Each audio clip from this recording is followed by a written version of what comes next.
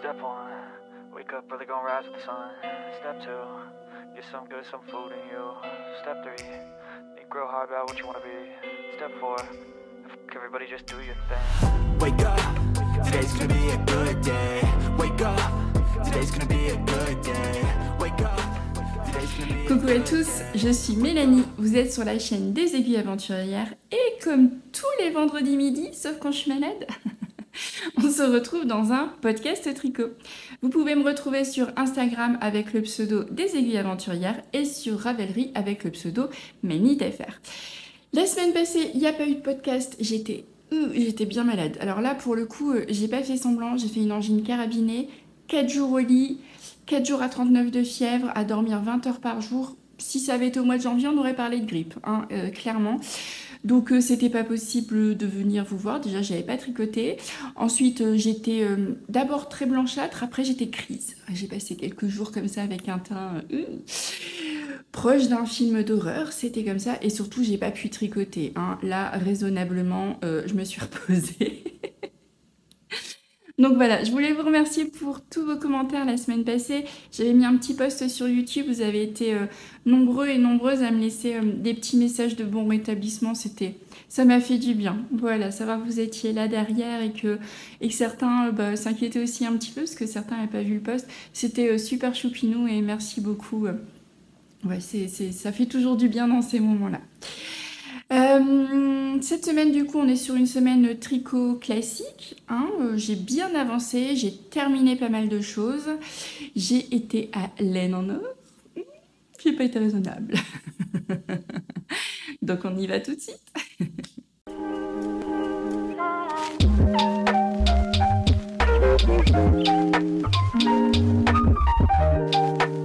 Allez, on va commencer par euh, les projets qui sont terminés. Euh, je voulais vraiment éliminer des projets euh, parce que je commence à en avoir pas mal. J'ai pas mal d'envie.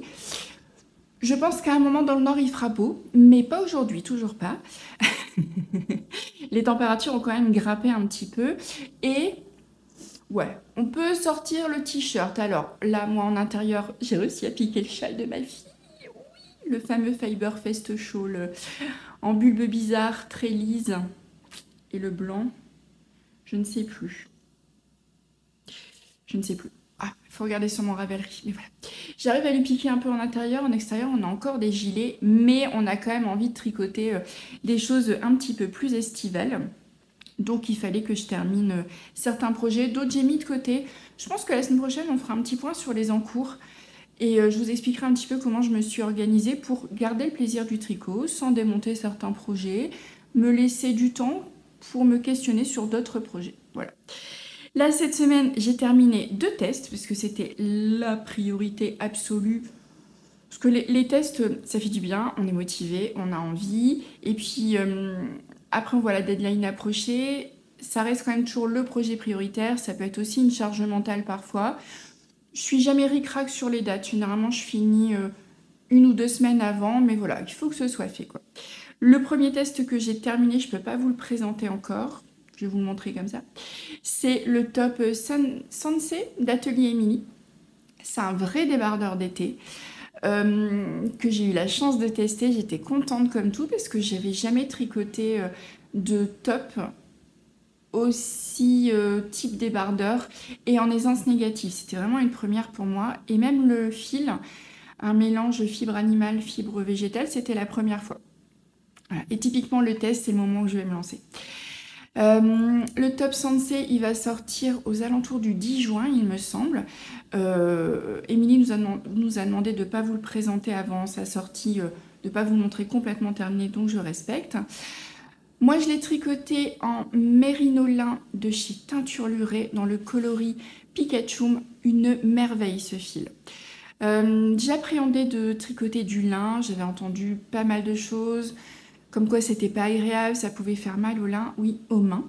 Mais là, on est sur du 90% mérino, 10% lin, et c'est un bonheur à tricoter. Ça a la douceur du mérino, ça a même gardé l'élasticité du mérino, tout en ayant quand même euh, cette touch euh, de lin. Euh, on le voit là, il y a les côtés chamarrés un peu blancs du lin, du coup, qui ressort.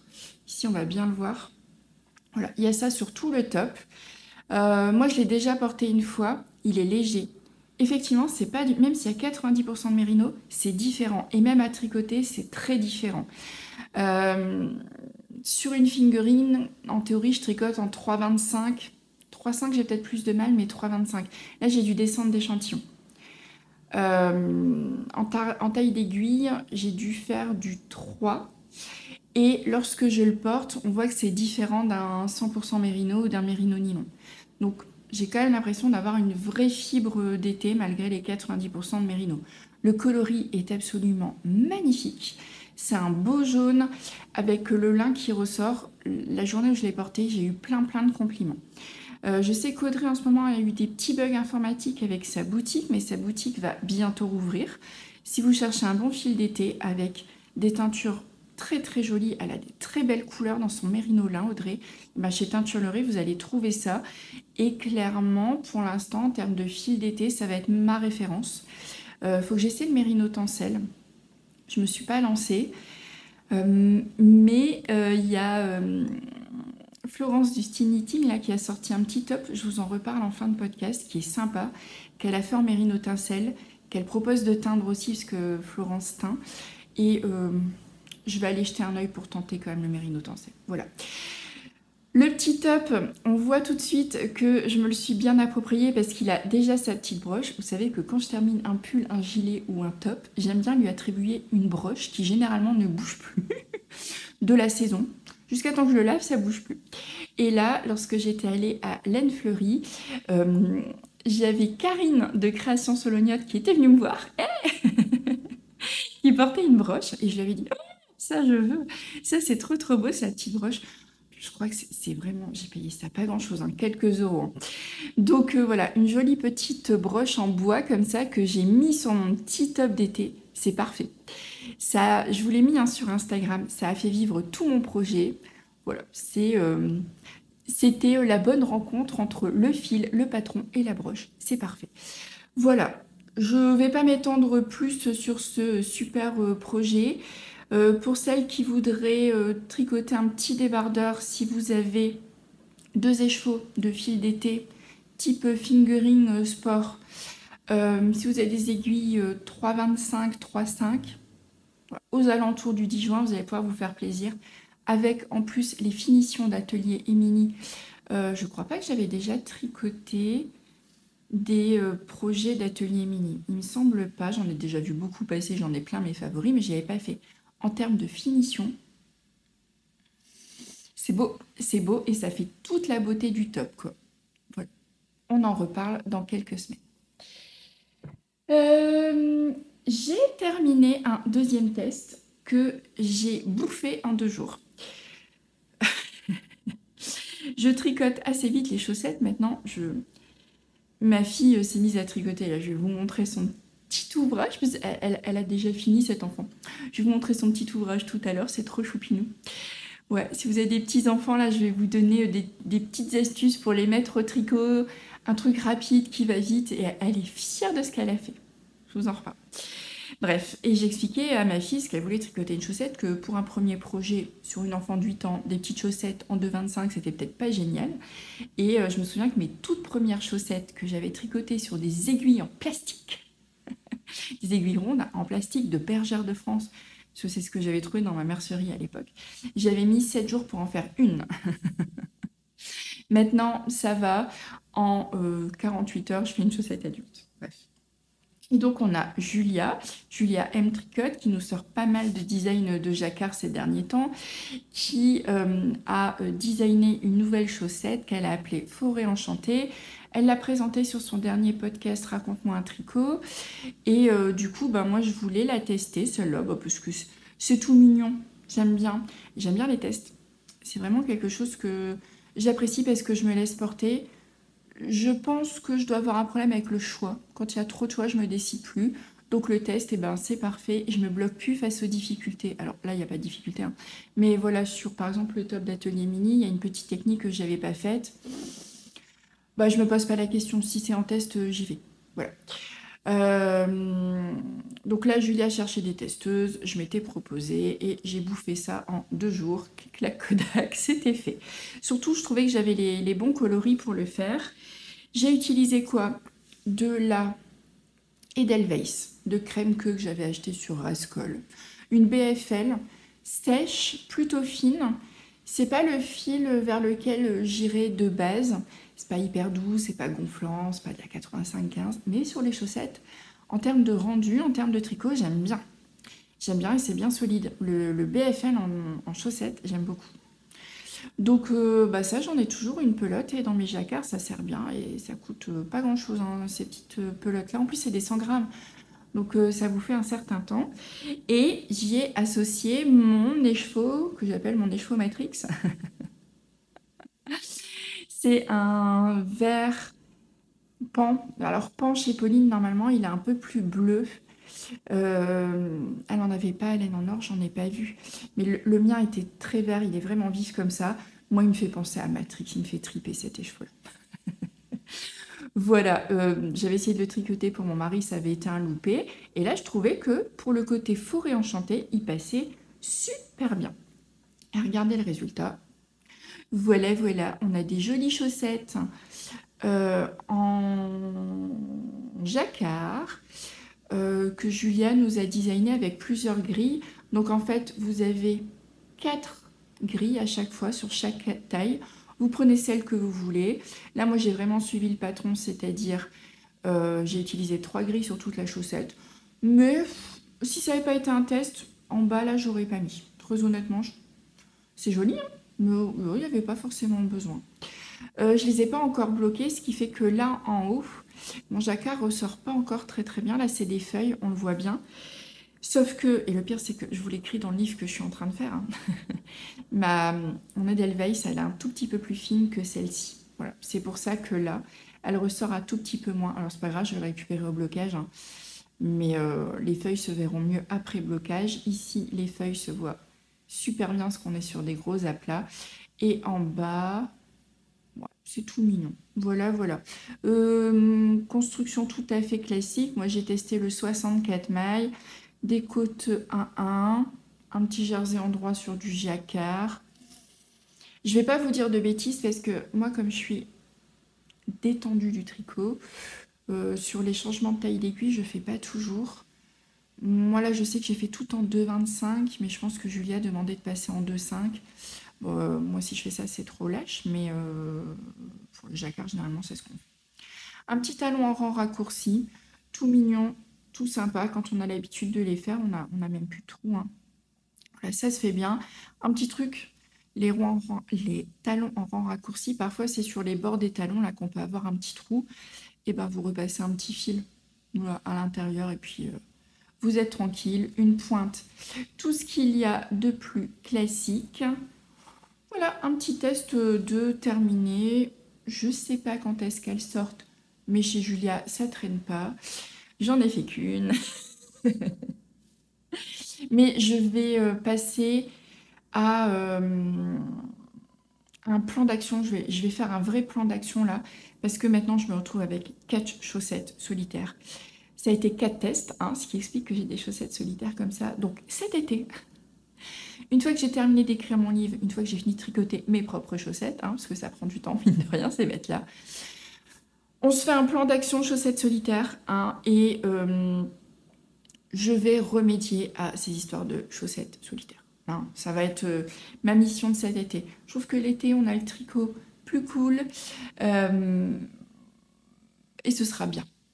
Une chaussette à faire à chaque fois, ça ira vite. J'ai gardé toutes les pelotes, heureusement. Donc on s'en occupera. On passe au projet qui m'a animé toute la semaine.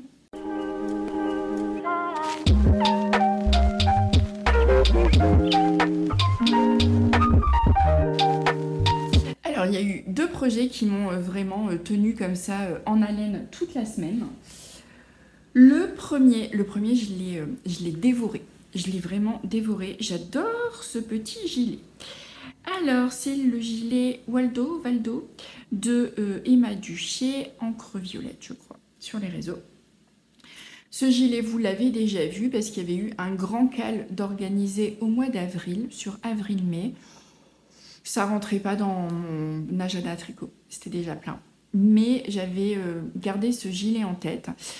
Euh, je fais la taille M. Pour la taille M, il faut deux écheveaux de coloris principal et un écheveau de coloris contrastant, c'est en déca. Euh, donc moi j'ai fait un mélange fingering mohair, mais vous pouvez très bien prendre un fil déca. Et c'est en ça qu'il est sympa parce que je ne sais pas vous, mais alors moi j'ai j'ai pas énormément de quantité pull. Deux écheveaux généralement j'ai, trois beaucoup moins. Et c'est pour ça qu'il était intéressant celui-là. C'est que j'avais la bonne quantité pour le faire. Alors, pour laines, avec ma caméra qui euh, m'envoie toujours euh, beaucoup trop de lumière sur le blanc. Là, ici, sur le blanc, on est sur Miss, euh, Miss la Noiraude de laine de mout avec un petit mohair kit silk de chez Drops. Miss la Noiraude, il est là. C'est un blanc avec plein de petits speckles noirs pas criard, juste ce qu'il faut pour relever votre, votre ouvrage, que ce soit pas plat. C'est pas du tout uniforme dans les coloris, on n'est pas sur quelque chose de d'uni. Je le trouve très très beau, Miss la Noiraude. J'en avais acheté 4 écheveaux, parce que c'était mes tout débuts euh, en laine de teinturier, en gros ouvrage aussi, et je m'étais dit que 4 écheveaux, j'étais large. Effectivement, 4 écheveaux, c'est beaucoup trop pour moi faire un peu là. Donc voilà, pour cet ouvrage-là, c'est deux écheveaux. J'ai, oh bah, je suis en fin de kit silk, hein. un petit kit silk euh, écru de chez Drops, euh, tout simple. Et au niveau des coloris verts, j'ai le coloris Popeye de chez euh, The Woolly Skein, très très beau coloris, mais totalement uni. que j'aurais pu passer dans un châle à 5 écheveaux typiquement de West, hein, où là les coloris unis j'arrive à les passer facilement, mais que là j'ai pu rehausser avec le magnifique Ostara de Tricot Stitch que j'avais pris en mohair, puisque je voulais faire un autre châle à l'époque. Mais j'avais un mohair, donc c'était parfait en plus. J'avais un écheveau comme ça, un écheveau comme ça. Les deux ensemble, c'était super. Et ce mohair-là, il donne toute la dimension du gilet. Vous voyez, il a du marron, de l'ocre, du bleu. Et ça se voit très très bien sur les, les très grosses rayures. Là, bah voilà. Vous voyez le vert il n'a pas du tout euh, un côté plat, uni. Il est très nuancé, très relevé et ça apporte plein de lumière et plein de peps euh, à ce petit gilet. Euh, ce, gilet, il est hyper sympa à tricoter. parce qu'on fait plein de petites sections et puis après on réunit, on s'ennuie pas, c'est rythmé, mais en même temps c'est pas compliqué. J'ai pris une petite largesse avec le patron fainéantise, j'avoue. Euh, le patron, je le, ce patron-là, je ne vous l'ai même pas dit la dernière fois. Je le tricote avec, euh, Vanessa de Créanes, qui a un podcast, euh, qui a un podcast sympa, vous pouvez aller voir. Et je le tricote avec Aurore de Lézard du Fil aussi, que vous connaissez, qui est aussi sur YouTube. Et avec Émilie. Émilie, qui est une de mes tricopines avec qui euh, je prends grand plaisir à tricoter. Voilà, voilà.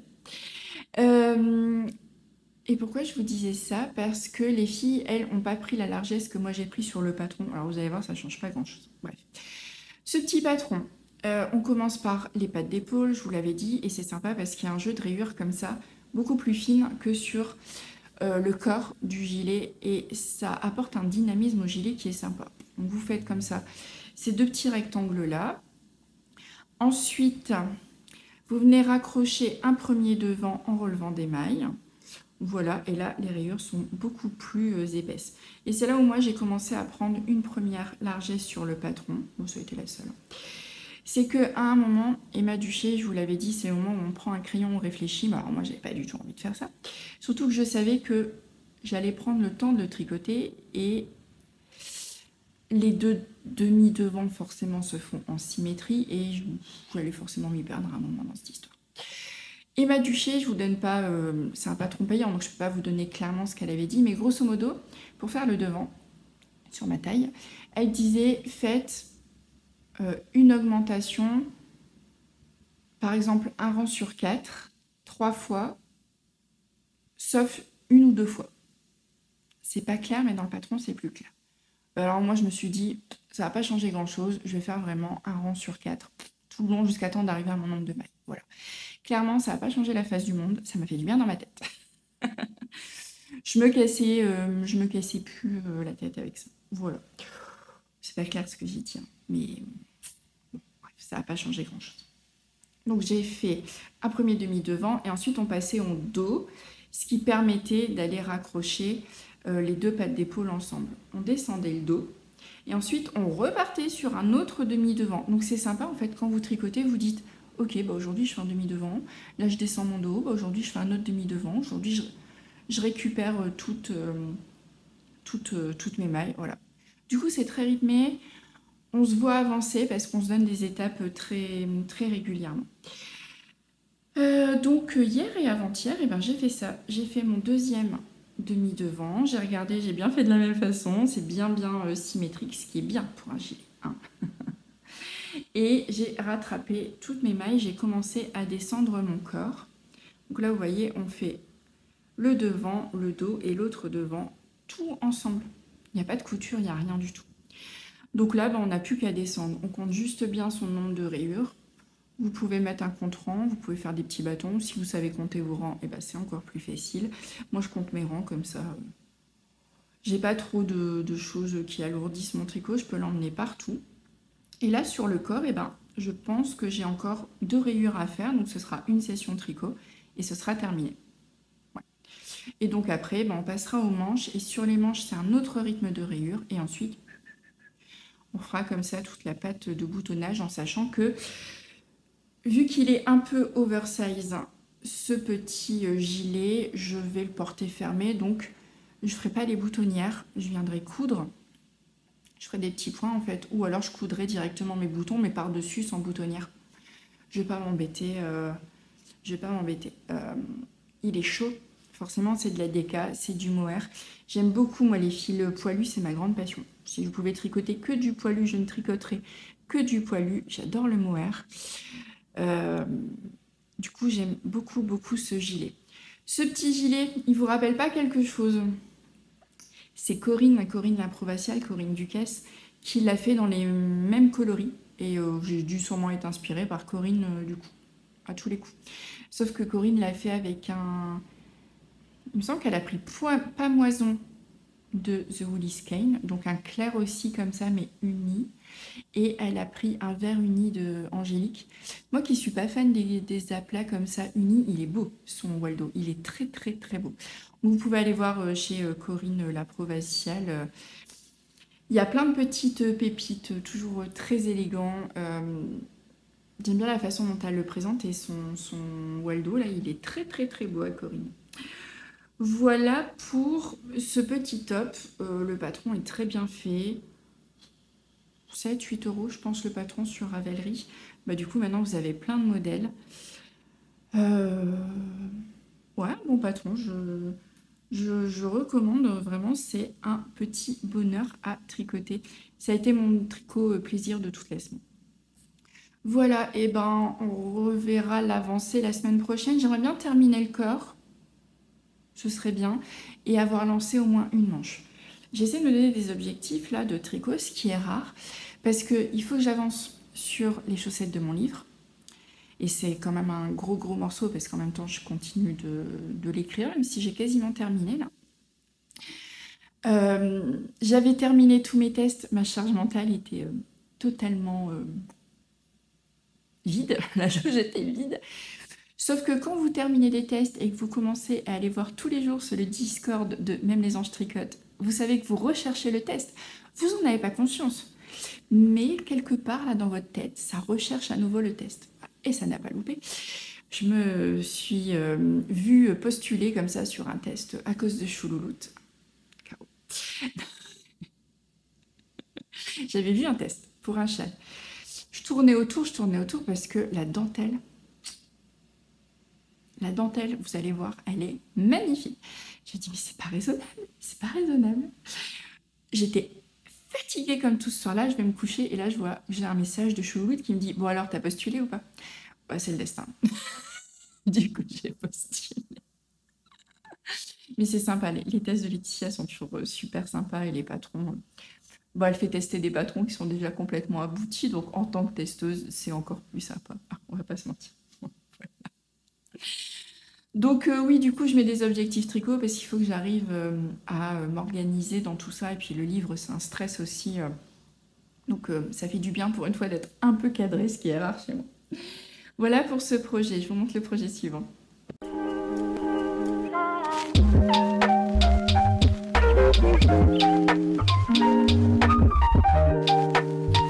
Alors, le projet suivant, forcément, là, c'est les chaussettes sur lesquelles j'ai bien bien avancé.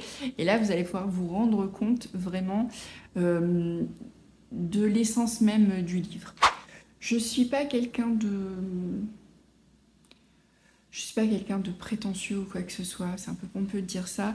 Mais euh, le livre, euh, il est fait, je pense, le plus simplement du monde pour vous véhiculer comme ça une manière de voir le tricot, voilà, sans autre prétention. Et donc là, j'ai tous mes petits euh, modèles euh, qui sont dedans, toujours dans ma trousse que j'adore. Et là, je me suis aperçue que j'arrivais à rentrer tous mes écheveaux et tous mes familles de chaussettes. Autant vous dire que c'est devenu, ma trousse à chaussettes. Euh, c'est une trousse des petits points de verrou, pas du tout sponsorisé cette histoire, mais alors qu'est-ce que c'est pratique Ce petit format-là que vous retrouvez chez Mud aussi et chez Redesign, un tout autre prix parce que c'est du cuir. Ce petit format-là, il est vraiment sympa parce que la hauteur fait que vous rentrez plein de choses dedans. Euh, et quand vous êtes en extérieur, ça s'ouvre complètement. Et du coup, vous tricotez avec vos écheveaux dedans, ça se balade pas partout, c'est hyper sympa. Là, euh, je vais pas les commander chez Redesign, du coup, parce que j'aimerais bien en avoir plusieurs. Je vais attendre de recroiser euh, Véronique des petits points de Véro et je lui en reprendrai une ou deux, peut-être dans un format un peu plus grand pour les pulls. Voilà, parce que c'est vraiment hyper pratique. Alors, ces petites chaussettes. Pour ce modèle, j'ai pris trois coloris. Donc là, on est sur le thème des petits chaperons rouges. J'ai pris ce que j'avais dans mon stash. Euh, je suis partie sur la Edelweiss de crème queue en coloris gris. Là, je vous ai dit, c'est des pelotes de 100 grammes. C'est super bien, j'en ai toujours plein. Et pour les jacquards, eh ben, je l'aime bien celle-là. Je ne sais pas trop vous dire pourquoi, mais je l'aime bien. Pour les jacquards, ça fait plusieurs chaussettes en jacquard que je fais avec. Je trouve que ça se place toujours euh, super bien. Euh, ça, c'est un coloris un peu grenadine de mon calendrier de l'Avent, de une maille à la fois. C'était mon coloris préféré du calendrier de l'Avent, je l'aime beaucoup. C'est de la BFL aussi. Euh, et là, c'est euh, un coloris de The Woolly Skein que j'avais eu dans euh, la box qu'elle fait tous les mois ou un mois sur deux, mais je crois que c'est tous les mois. Les deux font la paire, donc elle vous propose un kit à, à chaussettes. À chaussettes. Là, c'est de la high twist. Donc c'est une laine qui est très très euh, très très retordue comme ça. Quand je voyais cette laine avant, je me disais oh, je suis pas sûre. Et ben franchement, à tricoter sur des chaussettes, j'adore. J'hésiterai pas à recommander comme ça de la high twist. J'aime beaucoup, c'est hyper doux, c'est hyper moelleux. Et euh, j'aime beaucoup, beaucoup le rendu. Voilà. Je ne suis toujours pas arrivée au bout de mes trois coloris. Alors, moi, je tricote des tailles enfants par facilité parce que ça va plus vite. Et comme je veux vous proposer pas mal de chaussettes dans le même thème, bon, bah, euh, je débite un peu de la chaussette, hein, mais je suis toujours pas arrivée au bout.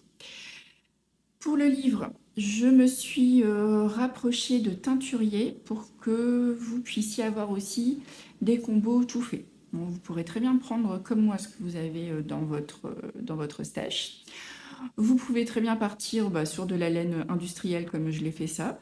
Comme je l'ai fait ça. Ah oui, Mel Comme je l'ai fait ici Ou vous pourrez aussi prendre des combos déjà euh, tout faits euh, chez certains euh, teinturiers. J'ai pas encore vu pour, pour tous les, chapitres du livre. Je me rapproche au fur et à mesure des, teinturiers parce que en fonction de ce que je tricote, je trouve qu'il y a des univers de teinturiers qui me viennent tout de suite. Donc bon voilà, j'attends, j'attends de voir quoi. Mais au niveau des quantités, je vais ajuster aussi pour que vous puissiez faire comme moi et vous tricoter une famille de chaussettes chaussettes trop mignonnes. Qu'est-ce que je m'amuse à les faire? C'est un vrai bonheur. Du coup, mes enfants s'éclatent hein, parce que c'est à celui qui récupérera euh, les chaussettes. Et comme j'ai trois loulous qui suivent mais qui font trois tailles différentes, et eh ben c'est bien ce que je peux tester directement sur les enfants, les tailles de chaussettes. Donc ça c'est cool. Dans l'aventure, j'ai embarqué des tricopines. Alors, je n'ai pas fait d'appel au test euh, public euh, ouvert à tout le monde sur Instagram pour une raison. C'est que euh, c'est du jacquard avec des niveaux de complexité qui vont être très différents. J'ai des tricopines autour de moi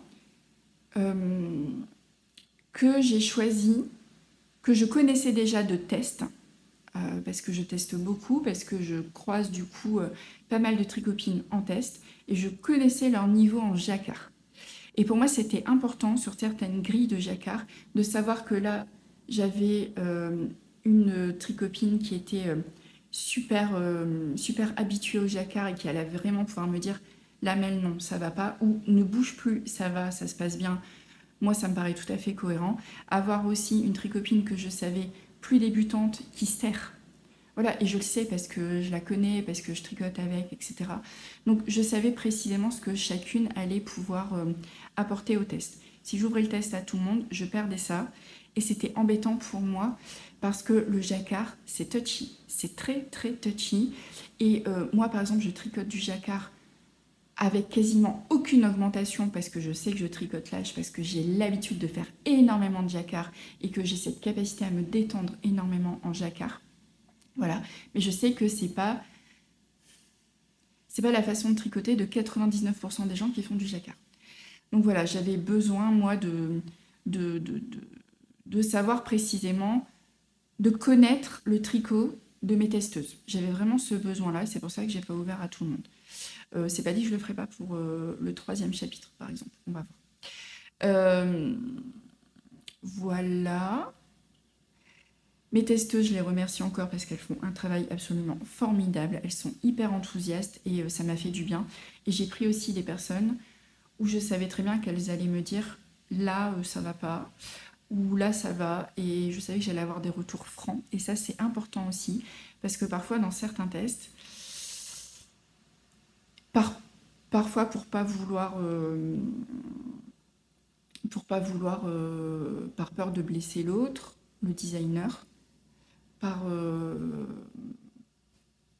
par, courtoisie aussi, parfois euh, les choses sont pas, sont pas forcément dites et posées. Et moi, je voulais être sûre qu'en face, j'allais avoir des vrais retours cash. Voilà, je voulais vraiment qu'à la fin, le livre soit le plus abouti possible. ah, ça me stresse, hein, tout ça. Ça me stresse. Mais vos retours ont été euh, formidables. Merci mille fois. J'ai eu plus de 700 messages sur le livre plus de 700 messages. Et euh, merci mille fois parce que bah, voilà, j'ai pu voir que j'allais dans la bonne voie, que ça vous plaisait et euh, que je pouvais continuer comme ça à vous proposer cet univers euh, créatif-là. Et, et, ça m'amuse et c'est super sympa. Alors, je vous montre peut-être certaines versions du chapitre 1, chapitre 1 que j'ai quasi terminé. Alors, je pourrais continuer à tricoter plein de versions de chaussettes, hein, mais il faut que je passe aux deux, moi, en termes de tricot. Alors, je vous avais déjà montré Hop, la première, donc le petit chaperon rouge, ça a été le point de départ de toute cette histoire. Donc voilà, le petit chaperon rouge ici, et derrière j'avais lancé comme ça euh, l'arbre, l'arbre de la euh, forêt, voilà, pour avoir vraiment un jacquard complet sur toute la chaussette, et c'est vraiment l'originalité du livre, c'est de vous proposer comme ça des énormes jacquards. Là on est sur un niveau... Euh, pas sur un niveau débutant de jacquard, hein, mais on peut y venir. Hein. pouvoir vous proposer comme ça des énormes jacquards qui racontent vraiment une histoire. c'est euh, euh, tout, euh, tout l'intérêt du livre. Pour aller forcément avec le chaperon rouge en énorme deuxième jacquard, j'ai fait le loup. Alors là, vous voyez, je me suis fait un peu avoir par mon côté chamarré, c'est que les yeux du loup, là, il y a du gris pile qui est venu se mettre dans l'œil du loup. Vous allez voir sur les versions de mes testeuses, on a des loups féroces. Le loup en noir, il ressort super bien, il fait vraiment très féroce. Avec toujours l'arbre derrière. Hop, donc là, vous avez les deux gros jacquards un peu experts. Et Après, je vous ai proposé des jacquards beaucoup plus débutants. Donc là, vous voyez, on retrouve le panier du petit chaperon rouge avec un petit jeu de rayures. Comme ça, on retrouve les trois coloris. Mais voilà, je vais tout vous expliquer dans le livre. Vous faites bien ce que vous voulez avec ce que je vous propose. Et hop, j'ai tricoté une quatrième chaussette avec cette fois-ci le loup, la petite maison. C'est trop, trop choupi. Voilà, voilà, voilà. Et donc là, je suis en train d'un tricoter une cinquième unie et je ne vais pas en faire une sixième, parce que le but, c'est de vous montrer qu'on peut très bien se dire, ok, moi, euh, j'ai envie d'un jacquard, euh, voilà, qui va être prenant, qui va être un peu long, qui va être technique, mais sur la deuxième, j'ai envie de me reposer. Donc, voilà ma paire de chaussettes. Voilà. Et moi, il n'y a pas de souci, hein, mes enfants euh, les portent comme ça. C'est tout l'originalité du livre, quoi peut très bien faire juste deux chaussettes comme ça, ou faire comme moi, cinq chaussettes, mettre dans un panier et le matin le petit bout se lève et il en prend deux, n'importe lesquelles, puisqu'elles sont toutes parfaitement coordonnées. Elles sont toutes différentes, mais coordonnées. Vous pouvez très bien dire, allez hop, aujourd'hui je porte ces deux-là. Ou alors une unie et une comme ça. Vous voyez, c'est vraiment l'univers. Euh, et c'est en ça que je vous dis que le livre est, fait... Euh, sans grande prétention de vous apprendre à tricoter des chaussettes et patati patata, non. Le livre, il est simplement fait pour euh, vous amener comme ça dans mon univers créatif et que, et que bah, vous ayez un peu euh, l'univers des aiguilles aventurières que, moi j'affectionne avec euh, des histoires, des, beaucoup de couleurs. Vraiment, ce qui m'intéresse, ça va être la création, euh, la, création d'univers. Que vous ayez un peu de ça, un peu de ça chez vous. Voilà, voilà pour ce chapitre 1. Et ben, C'était la dernière fois que je vous montrais celui-là. Et puis là, le chapitre 2 va rentrer en test euh, en fin de semaine. Vous allez commencer à voir euh, là versions chez les, chez les tricopines. Et je les remercie encore parce que bah, c'est une belle aventure aussi euh, tout ensemble. Euh, et, c'est important aussi de pouvoir partager ça euh, bah, à plusieurs. Et ça m'a fait du bien parce que c'était un projet qui était pour moi très très très stressant. On passe à la suite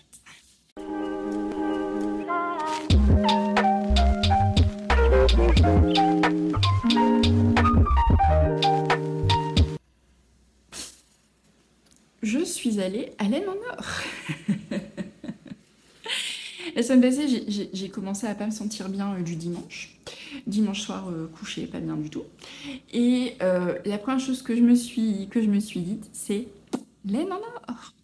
Je me suis pas inquiétée de l'organisation à la maison, de mon travail, mais malade ou pas malade, je vais travailler.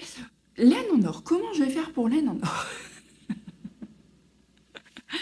J'ai été euh, couchée jusque jeudi matin. Jeudi, j'ai réussi à sortir du lit bien grisâtre. Vendredi, ça allait mieux. Lundi, j'étais à laine en or. Ouah Laine en or cette année, c'était quelque chose. Oh là là là là, c'était blindé de monde. On a eu dans le Nord trois salons en moins de deux mois. À chaque fois, il y a eu du monde. À chaque fois, ça a été une réussite. À chaque fois, les gens étaient contents. Bah, c'est super cette histoire-là quand même. On a bien chance. Euh, laine en or, il y avait des grosses têtes d'affiche. On avait euh, Pauline Bulbe Bizarre qui était extrêmement attendue. On avait euh, Ludivine Arcoiris, on avait Tricot Stitch, on avait Nathalie by Night, on avait Maison Septembre. On avait Ivy Créa qui nous propose des trucs de dingue là au niveau du filage. Ça me passionne. J'aimerais bien trouver quelqu'un autour de moi qui sache filer pour euh, pouvoir m'acheter une tresse et apprendre à filer. On avait Garance et compagnie, on avait euh, Madeleine et Philibert, je me suis lancée dans un truc pourri parce que je vais en oublier. Hein. On avait euh, plein de monde. On avait Mylène de Folie Ordinaire. je suis désolée pour les personnes que j'aurais oublié de citer et je vais en hein, c'est certain. On avait plein de super monde, il y en avait pour tous les goûts, des couleurs euh, plus unies, très douces, des couleurs euh, up up up. Euh, il y, avait plein, plein, plein, plein. J'ai eu la bonne idée d'arriver à midi. Il paraît que le matin, c'était de la folie pure, là, entre 10h et midi. moi, pour la Nord, mon timing était extrêmement serré. Le matin, on avait quelque chose de prévu et les enfants avaient des anniversaires toute l'après-midi. Donc j'ai eu 1h30 sur le salon et c'était bien trop court et je suis euh, déçue, c'est un grand mot, mais euh, j'aurais voulu repasser chez d'autres teinturières et j'ai pas pu parce que alors là niveau timing on était hyper serré. Euh, Nathalie by Night Création, je voulais vraiment repasser, elle avait des trucs hyper beaux et j'ai pas eu le temps. je voulais repasser chez Garance et compagnie, elle avait toujours du monde, j'ai même pas pu faire un coucou à Karine alors qu'elle avait en plus sorti un noir là avec un nuancé qu'elle avait présenté sur Instagram qui était super beau. Bon, c'est tout, c'est pas grave, il y aura d'autres salons. Euh, je préfère acheter, euh, acheter en salon généralement. Il y aura d'autres salons et j'aurai l'occasion de les voir, mais euh, j'étais un petit peu déçue de pas, pas aller jusqu'au bout de l'expérience. C'est pas bien grave. C'est pas bien grave, surtout que ça a été mon plus gros salon en termes d'achat. Alors pourquoi? Parce qu'il y avait bien trop de jolies choses parce que j'avais énormément d'envie, parce que aussi euh, il y a eu scène de ménage la veille. Non, c'est un peu fort, c'est un peu fort. Je vais aller au bout du truc. L'aide en or a eu lieu les 25 et 26. 25, c'était la veille de la fête des mères. Nous, on savait qu'on allait à l'aide en or en famille parce que niveau timing c'était plus sympa, parce que maintenant mes petits loulous commencent à vouloir tricoter aussi, j'ai du mourir dans l'œil. Euh, et que euh, il faisait super beau, c'était un week-end. Moi souvent je travaille le week-end, j'ai peu de week-end de libre et j'avais envie de rester avec ma famille. Euh, et donc la veille, mon mari du coup de ce fait-là avait prévu d'acheter mon cadeau de fête des mères, ce qui n'était pas du tout obligatoire parce qu'il y a des enfants qui font des cadeaux, mais bref, voulait m'acheter mon cadeau de fête des mères à or. et donc la veille au soir, le vendredi soir, il me dit Qu'est-ce que tu voudrais pour ta fête des mères? T'as une idée un peu des coloris, de quel projet? Et je lui avais dit bah, écoute, il y a vraiment un projet que j'ai envie de faire là sur cet été. Si tu veux, je te montre la photo. Euh, tu gardes le, projet et puis euh, tu choisiras euh, le teinturier que tu veux et demande un combo. Je lui montre le projet et ce goujat me sort oui, les filles qui l'ont vu, là, vous l'avez appelé le merveilleux mari, etc. Non, des fois. Il me dit, oh, ça fait quand même un sacré budget pour une fête des mères. Ça fait un sacré budget pour la fête des mères. Alors, c'était vrai. Oh, c'était vrai. On ne dit pas ça à une maman la veille de la fête des mères. Euh, trois enfants en trois ans, d'accord? Deux césariennes. Le premier, je l'ai sorti en post-terme après 24 heures de travail, on a essayé de déclencher la bestiole, qui n'a jamais voulu sortir, et on a fini par m'ouvrir le bide, c'est-à-dire une césarienne, pour la sortir. Deuxième enfant, un an et demi plus tard, prévu à 5 kilos. 5 kilos, oui, oui, 5 kilos. j'ai pleuré pour avoir une césarienne. Paf Deuxième césarienne, j'ai eu un enfant magnifique qui ressemblait à un Bouddha. Troisième enfant, un an et demi plus tard, cette fois-ci, j'avais fait attention un peu à ce que je mangeais, mais pour avoir un enfant plus, plus fin et me dire je vais le sortir par voie basse, après 36 heures d'accouchement, cet enfant a daigné sortir. On ne dit pas la veille de la fête des mères à une mère qui a subi deux césariennes, un accouchement voie basse de 36 heures. Ça fait beaucoup en termes de budget pour une fête des mères. Non, non. On ne dit pas ça. C'est un goujat. Vous me comprenez, hein, toutes celles qui ont connu ce genre d'accouchement euh, épique, marathonesque. voilà. Donc, je suis arrivée à laine en or, encore un petit peu vexée, hein, non mais à peine, en me disant, mon coco, fallait pas me dire ça. Vous lui direz la prochaine fois que vous le verrez, là, ce merveilleux mari, mon parapluie humain, là, qui a eu plein de compliments. si en plus il était beau comme un dieu ce jour-là. non, je plaisante. Un peu vexé quand même, mais je plaisante. Bon, bref, j'ai craqué euh, complètement à en or, c'est mon plus gros salon. Voilà, voilà. Bon, je ne sais pas si on va tout présenter aujourd'hui, je crois pas. Euh, par souci de timing. Hein. si vous venez sur mon podcast, vous savez que j'aime bien partager et que ça donne plein d'idées de combos. Donc, euh, je vous montre généralement les achats que je fais. Ce qui s'est passé aussi à Laine en Or, c'est que mes enfants, mes trois loulous, là, alors peut-être pas mon petit dernier, mais mes deux grands, ils aiment la laine. Ça y est, ils aiment vraiment la laine. Ma fille s'est mise euh, à tricoter. Mon deuxième adore les couleurs. Il adore toucher la laine. Et il demande à commencer à tricoter. Il est un peu jeune, c'est difficile. Mais ils aiment ça. Donc ils veulent acheter aussi. Dans quel ordre je vais vous montrer ça? Bah, Dans l'ordre dans lequel ça va venir. Hein. Cette histoire, je vais peut-être juste essayer d'en trouver un dernier. Voilà. Le reste, on fera la prochaine fois. Je suis arrivée j'ai d'abord voulu faire une première fois le tour. Et au final, j'aurais peut-être pas dû, j'aurais dû acheter tout de suite parce que j'ai pas eu le temps de revenir sur les teinturiers du début. C'était dommage. J'ai d'abord eu le craquage ultime dès que je suis arrivée. j'ai dégainé la carte, c'est là, c'est là où j'ai eu la, petite pointe de tu vas voir si euh, trois accouchements ça mérite pas mon cadeau de que je voulais. J'ai eu un flash chez Arco Iris Voilà, pour ce combo-là. Ah, on est bien d'accord. Euh, en quelle base j'ai pris ça? 100% mérinos pour celui-ci. Donc c'est un vert, mais un beau vert frais. Et c'est très différent de celui-là. Il est frais, il est très estival. C'est le coloris Pichou dans la base Dr. Wool, 100% mérinos Super Wash de Ludivine Arco Iris. Oh là là, Ludivine, elle avait un stand, mais c'était beau, tout était beau. Et d'ailleurs, mon mari a pris mon cadeau de fête des mères euh, chez Ludivine, en partie. Et ouais, c'était magnifique, quoi. C'est vraiment beau. Donc j'ai pris celui-ci. Et pour aller avec, j'ai pris, toujours dans la même base Dr. Wool, le coloris Brewster. Je sais absolument pas comment on le prononce. Je vais vous le montrer. Hop, Alors, ça doit être issu euh, de l'univers qu'apprécie euh, Ludivine, hein, mais je ne connais pas celui-là. C'est un très beau pêche, mais un pêche qui présente comme ça euh, des petites nuances un peu jaunes. Il est magnifique. Et les deux ensemble, trouve qu'ils vont magnifiquement bien. Et pour aller avec, j'ai pris le coloris Totoro. Totoro euh, en stellina, donc c'est sa base interstelliarne, 75% mérino, 20% nylon, 5% de stellina argent. Totoro en stellina argent. C'est une merveille. Et voyez, on retrouve les coloris de vert avec des pointes de rose. Il y a quelques orangés. Du coup, il est très chaud. Je pense même que ouais, on va passer par le rouge. Il est magnifique.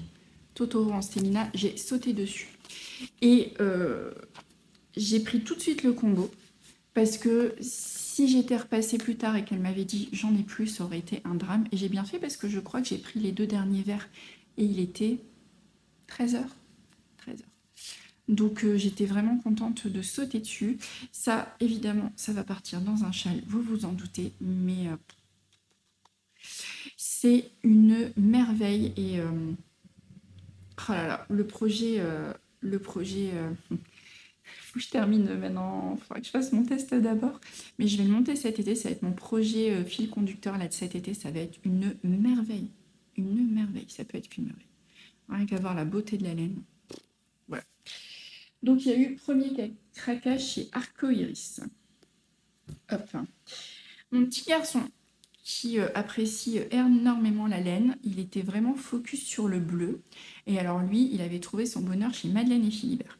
Il avait vu un bleu très pâle, tout uni. Euh, alors là, on n'était pas dans mes couleurs. Euh, couleur pastel, c'est pas pas trop trop mon truc. même à porter, c'est pas mon truc. Je veux pas tricoter quelque chose non plus qui me fait pas vibrer. Donc, je l'avais ramené vers du bleu un peu plus nuancé avec euh, un beau travail de teinture qui voulait en gros écheveaux. Donc ça, c'est le coloris Quiberon. Quiberon, il est magnifique hein, chez euh, Madeleine et Philibert. Et puis, euh, sur le stand, il y avait les kits à chaussettes, comme ça. Et puis, finalement, mon petit bonhomme, il dit, ah bah, je préfère le kit à chaussettes. J'aurais préféré qu'il prenne le gros écheveau. ça m'aurait arrangé, ça j'aurais eu des restes, j'aurais pu l'utiliser dans autre chose même. Je voulais lui faire plaisir aussi. Donc le kit à chaussettes, il reprend les coloris Marrakech qui est un orangé, le Quiberon et un montin à mon avis Ajaccio, qui est à mon avis un. Voilà, c'est un très très beau kit à chaussettes. Hein. Ça, vous faites un cadeau comme ça à une tricoteuse c'est magnifique. Euh, chez Catherine, euh, ils étaient présentés pour le design de Lysandre. Elle avait fait l'été passé un design avec trois grilles de jacquard. Il y avait des cabines, un crabe et des homards, je crois. Et là, c'était tricoté, c'était très très joli. Euh, je crois que je vais peut-être me faire les crabes pour mon petit bonhomme. On va voir. Bon, il était content d'avoir son petit kit à chaussettes comme ça. Ensuite, moi, je me suis enfin, enfin acheté ces écheveaux-là que j'avais euh, repéré depuis longtemps, très très longtemps. Je pense que c'est l'un des colorifères de Madeleine et Philibert. Catherine, je crois que c'est la première fois que je la croisais en festival. Elle était peut-être présente au Nitit l'année passée, mais au Nitit l'année passée, euh, c'était tellement la folie qu'il y a plein d'exposants que j'ai pas vus. Mais là, en sachant que je pouvais prendre le temps d'être sur le stand, je voulais vraiment prendre ce coloris. Donc c'est Île d'Aran. Île d'Aran que j'ai pris en Big Sock en 75% mérino, 25% nylon. Et ce vert, et là vous avez, il est encore plus flash. Il est encore plus flash dans la vraie vie. Il est magnifique. J'en ai pris deux écheveaux. Ça, ça part dans un top d'été euh, que j'ai envie de dévorer et de monter là tout de suite aussi euh, sur mes aiguilles. Il faut que je cale ça euh, rapidement. Ou après le Waldo. Hmm. Je vais voir. Mais j'ai hyper envie de me faire un top d'été. C'est la saison en fait. Donc, j'ai pas envie d'attendre trop trop longtemps parce que l'été dans le nord. Je sens que ça va passer vite. Hein. C'est toujours pas arrêté de pleuvoir. Il pleut encore quasiment euh, tous les jours. Pas tant les températures, mais c'est cette humidité qui ne s'arrête pas. Bon, bref. Du coup, Île d'Aran, là, vous allez le voir euh, prochainement dans les semaines à venir euh, sur mes aiguilles parce que c'est une pépite. Et deux écheveaux pour un top d'été, c'est parfait. C'est parfait. Euh, Ai-je besoin de vous dire que je suis passée chez ma dileuse de laine habituelle, chez qui je, ne peux que passer. Il est hors de question que je fasse un, festival sans passer chez la personne qui euh, m'a donné l'amour de la laine teinte à la main, l'amour des couleurs et l'amour des, des projets hyper originaux, qui m'a aussi, je pense, transmis comme ça ce goût d'oser. Alors, je ne la, connais pas personnellement, hein, Christelle. Euh, je la vois sur les salons, je l'ai surtout connue à travers son podcast. Euh, et, c'est quelqu'un qui m'a toujours beaucoup, beaucoup inspiré. Et à chaque salon, je passe chez Christelle. Même si je crois que c'est Onity, tu l'as pas forcément acheté. Mais euh, voilà, aller prendre comme ça cette bouffée de, de fraîcheur, de couleur, ça fait du bien. Bon, là, par contre, j'ai pris. Hein. J'ai pris. J'avais flashé sur son dernier coloris du mois, le Sea of Stars. C'est pas mes couleurs le bleu. Hein. Je tricote quasiment pas de bleu. Bah là, euh, pas mes couleurs ou mes couleurs ou pas mes couleurs, j'y suis allée, mes enfants. C'est vraiment le coloris que vous voyez là. C'est un magnifique bleu, mais pour moi, on est dans le bleu océan quoi. Euh, du bleu plus pâle, des jaunes qui reviennent. Ici, on a plein de speckles. Enfin, chez Christelle, c'est toujours très riche dans les, dans les coloris. Il est, euh, il est nuancé, il est magnifique. Et celui-là, il est hyper sympa parce que il est nuancé, il, a quelque chose, mais il peut très bien passer dans un châle, comme dans un pull, comme dans un top. Parce qu'il a une vraie unité malgré tout. Euh, donc j'en ai pris deux. Je me suis dit que je me laissais... Alors en pull, je pense pas. Le, bleu au teint, c'est vraiment pas un truc qui me va bien. Euh, parce qu'en hiver, j'ai la peau qui rougit. Avec le froid, vous savez, j'ai la peau qui devient très rouge, qui, se sent très vite agressée. Donc, quand on a la peau qui rougit avec du bleu, c'est pas flatteur. Mais en été, j'ai moins ce souci-là. Donc, j'en ai pris deux pour me laisser la possibilité de faire soit un top d'été, soit un châle. Mais euh, peut-être un châle aussi à deux écheveaux ou avec un contrastant. En prendre qu'un, c'est ce que je faisais avant là sur les précédents salons. J'ai pris énormément d'écheveaux solitaires et c'est très bien aussi. Euh, mais là, je pense que c'est aussi pour ça que j'ai autant craqué, c'est que j'ai arrêté de prendre des écheveaux solitaires. Parce que parfois, ça me bloque pour certains projets. Vous allez voir, mon mari a pris un écheveau solitaire. Et là, je, vais aller pleurer chez Pauline. Et j'ai pris aussi deux Fériglines. J'aurais dit Fériglines. Bon, deux Fériglines. Regardez-moi ces verts. Hop là. Très très joli. Donc là, j'ai pris sur une base euh, Donegal, c'est la Tweed Fingering, 85% Merino, 15% de neb de Donegal. J'adore les Donegal comme ça. Ça apporte un relief de dingue. Et là, pareil, j'en ai pris deux. Soit je me laisse l'opportunité de faire un top d'été, je sais pas trop. mais peut-être un pull à rayures ou un châle pareil, ou dans un gilet, ça je le vois bien dans un gilet. Enfin, il va y avoir des possibilités. Ce combo-là, ce coloris-là, c'est aussi une vraie merveille. Je l'adore. même ensemble, hein, ils vont bien. Hein. Là, vous voyez, ça passe super bien. Je me suis faite vraiment, vraiment plaisir avec ça. Euh, et ensuite, on est chez Pauline. Je vous montre la prochaine fois. Sinon, le podcast, il va être long. Je vous montre le reste sur le prochain podcast. Mais un très, très beau salon. Euh, j'étais très, très, très contente euh, parce que j'en ai rencontré beaucoup d'entre vous dont j'avais repéré les pseudos. Donc je mettais enfin un visage sur certains pseudos. Euh, Marianne, Marianne que j'ai vu en tout début de salon, je te fais plein de gros bisous. Sandrine, Sandrine avec qui j'ai fait des tests et que j'avais... J'ai toujours dit, mais j'ai tellement envie de te croiser que j'ai pu croiser Hélène. J'étais ravie de croiser Hélène aussi. Et c'était tellement gentil de, venir me voir. Il y en a eu d'autres aussi où j'ai pas forcément eu les prénoms. Euh, toi qui m'avais interpellé en début de salon, qui était là avec ta maman qui devait avoir pas loin de 80 ans j'ai pu parler avec cette dame et c'était tellement enrichissant. Pareil, Hélène qui était là avec sa maman, j'étais tellement contente. C'est ce qui est génial dans les salons, c'est qu'on retrouve toutes les générations. Moi, j'avais un petit bout qui avait 5, euh, 6 euh, et 8 ans. Et il y avait des personnes de 80 ans. Ça, c'est génial en salon. C'est plein de richesses. Vraiment top. Donc voilà, avoir, pouvoir avoir ce lien avec vous, c'était super. Ensuite, j'ai croisé les tricopines, c'était super aussi. Caro, Caro, que j'avais aperçu une fois de loin à l'époque je faisais pas de podcast. Ou si, à peine, j'avais à peine lancé le podcast. J'avais pas osé aller la voir parce qu'elle était partie manger, je voulais pas l'importuner, mais j'étais tellement contente de croiser Caro Choulouloute. Elle est extraordinaire. C'est une bouffée d'oxygène, quoi. C'est vraiment. Là, Caro, elle nous fait des weekly, des weekly vlogs. C'est des vlogs. Des weekly podcasts. Enfin bref, elle revient toutes les semaines dans ses podcasts. Caro, c'est une super technicienne, c'est une grande tricoteuse, elle adore les couleurs aussi et elle. Euh, si vous cherchez pas, je vais me lancer dans un truc merdique. J'aime pas ces derniers temps ce que je vois.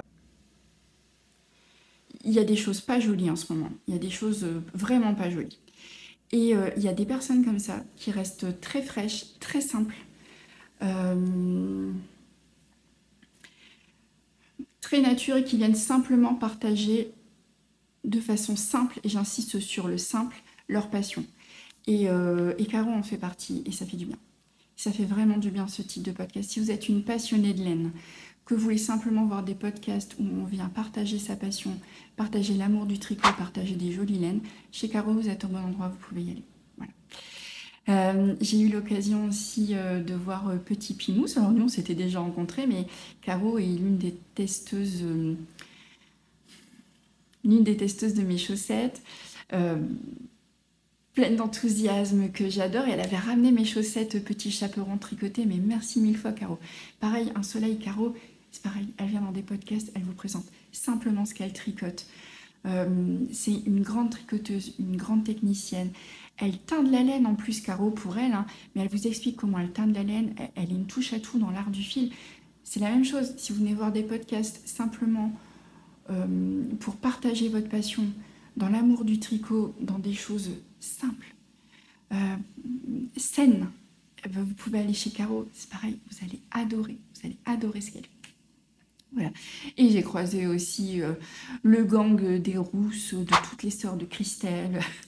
il y avait Christelle, il y avait Céline, il y avait Vanessa, sa sœur que j'adore tellement. C'était trop bien de leur faire un bisou. Il y avait Laetitia qui était avec elle, tout le gang des, des tricopines, c'était super de les croiser. J'ai vu Imelda, euh, Imelda Méthylène, euh, qui nous fait aussi des podcasts pareil euh, dans l'amour du tricot et de la couture. Et Imelda, elle avait un pantalon violet à laine en or pour Ouais, en or. Pour celles qui font de la couture, été voir son dernier podcast et elle le présente son pantalon. Oh, allez voir, le pantalon, je l'ai vu porter. Il est magnifique et elle le présente bien dans le dernier podcast. Donc, euh, vous pouvez euh, y aller, c'est vraiment euh, super, super, super. Voilà, voilà pour laine en or. C'était bien organisé, il y avait un food truck sympa où on a pu nous tous manger en famille, ce qui était cool, ça plaisait à tout le monde. j'étais juste déçue de ne pas pouvoir rester plus longtemps. Ça, c'était euh, euh, dommage, dommage, dommage. Euh, je vous fais un petit blabla tricot.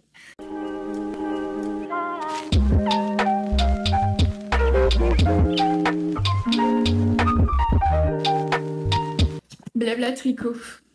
Ah, c'est... Je vais essayer de vous le défaire, ça commence à être sec. Alors, premier blabla tricot. Vous allez qu'est-ce que c'est que ça, Mélodie? Je vous ai dit que j'ai mis ma poussinette au tricot. Bon, ça fait un moment, non, c'est pas sec, je vais le laisser.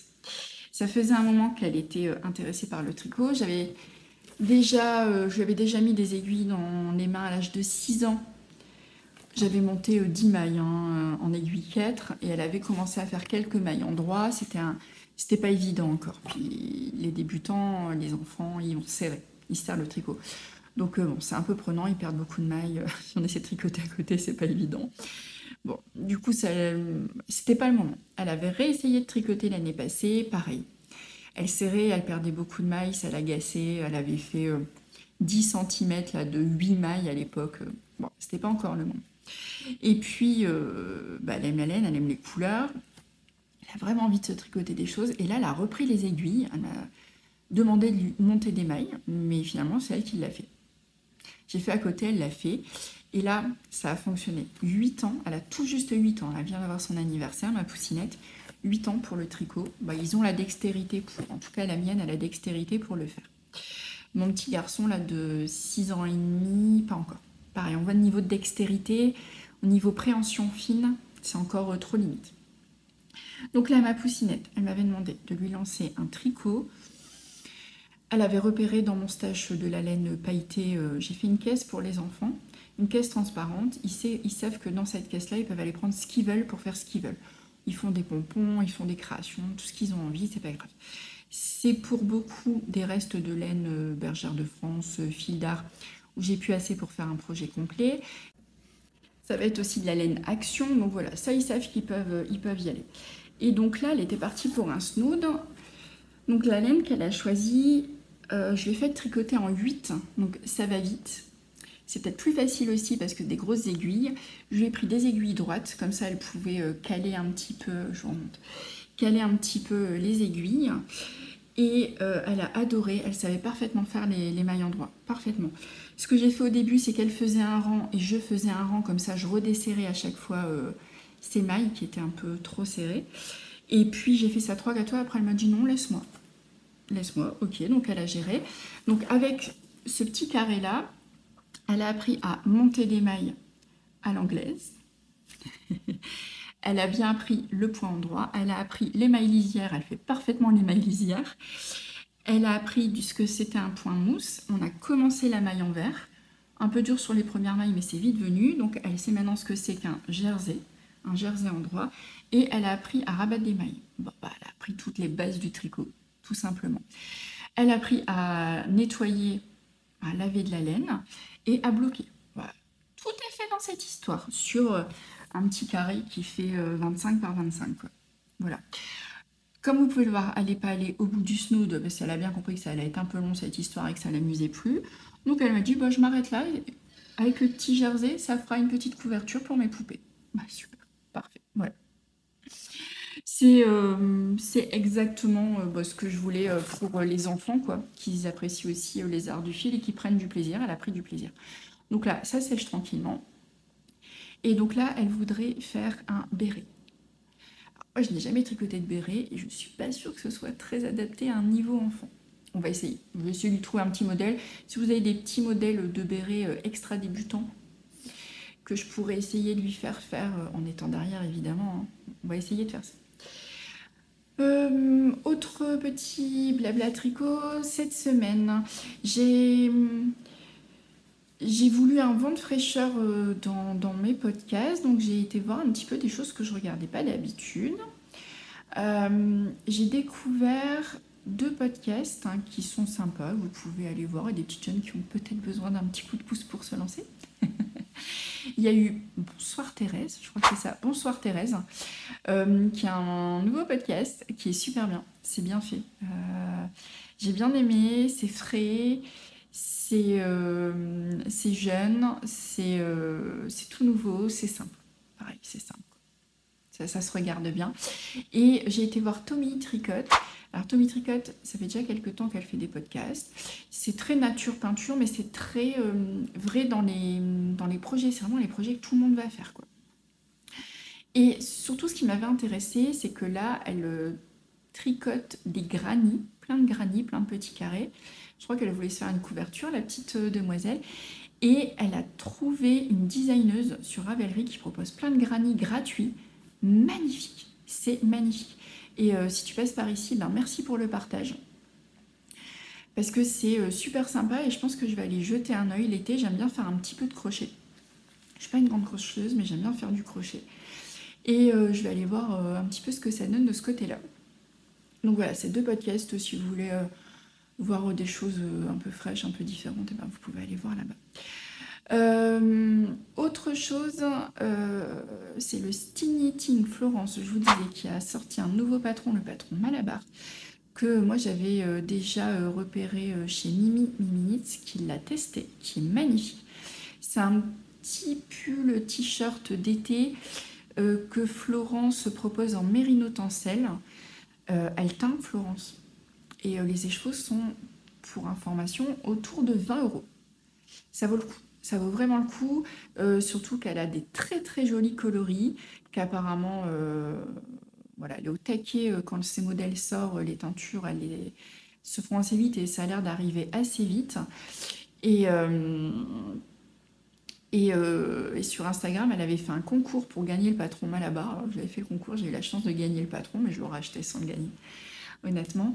Et euh, du coup, je me tâte, euh, j'ai une quantité pour le faire, mais je vais peut-être commander quand même chez elle, déjà pour la soutenir, de deux, parce que bah, les échos euh, en termes de prix, c'est tout à fait correct, et de trois, j'entends que du bien par Karine, la Miss Knitter, des patrons et d'Hélène, et j'en avais parlé aussi avec Valérie de Web, si vous êtes sur Instagram, vous la connaissez, Valérie, enfin si vous la connaissez pas, il faut la connaître, Valérie, c'est une grande tricoteuse, elle fait des projets canons, elle respire la joie de Moi, j'adore Valérie. Je l'ai croisée à Laine en Or et c'est un amour.